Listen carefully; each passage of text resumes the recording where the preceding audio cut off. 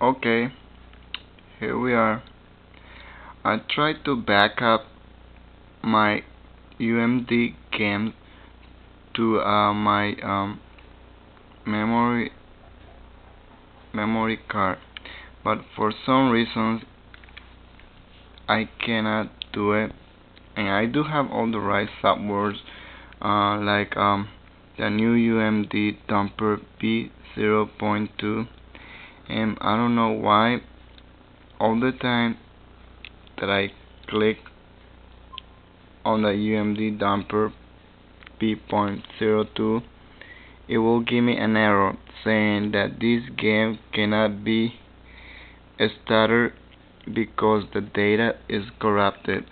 And um I did all the right steps. I download all the right software like to copy or backup my games to my memory card but um for some reason is not doing anything.